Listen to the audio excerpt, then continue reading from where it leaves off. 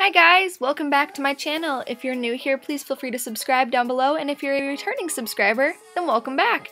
So today I'm going to teach you how to make these super easy oil-free oven-baked french fries with this incredible garlicky, cheesy tahini hummus dressing, okay? It's fantastic. It's one of the best things I've eaten in a long time. So first, prepare your french fries the way I do in this video here that I will link right above and I'll also link below. A Silpat is really easy to have, or really great to have around. It makes cooking things a lot easier because nothing sticks to the pan and you can reuse it forever.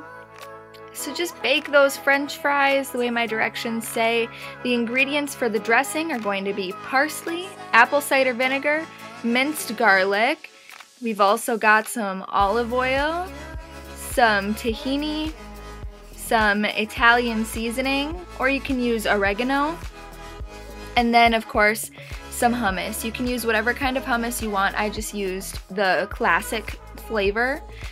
You heat up some olive oil in your pan, just a little bit, a splash, and then you put uh, five cloves or five teaspoons of garlic in there, and you cook that throw it in the blender. Then you're going to add three tablespoons of hummus and three tablespoons of tahini. Tahini is really tough to get out of the container. It's very um, thick. And then you're just going to add your spices, honestly, like just a pinch or to your taste. For the apple cider vinegar, you're just going to do literally a little splash. That's all you need. And then just some water to help thin it out. I used about three tablespoons, but you can use more or less as needed. That's what it looks like. Trust me, it'll be great. I promise. And then see how they, they're just not sticking to the pan at all? It's fantastic. It's just my favorite thing in the world. I don't have many nice things. So that's what our french fries look like. Yes!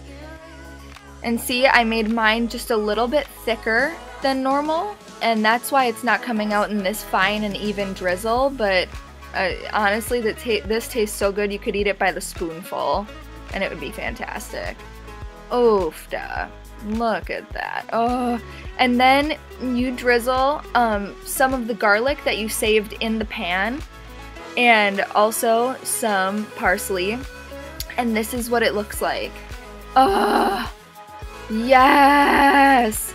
It's amazing. I really hope that you guys make this. If you do, please share it with me on social media. All of my links are going to be in the description box below. And I hope to see you in my next video. See you next time. Bye!